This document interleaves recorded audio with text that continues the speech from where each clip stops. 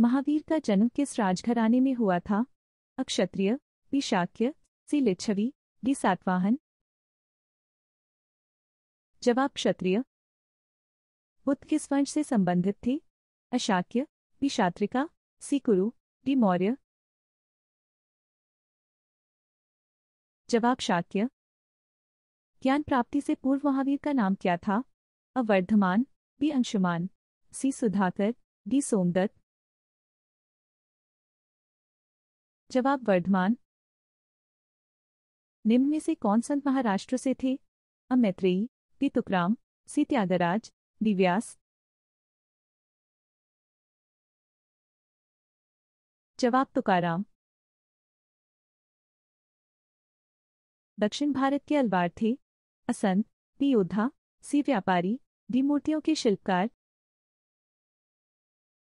जवाब संत।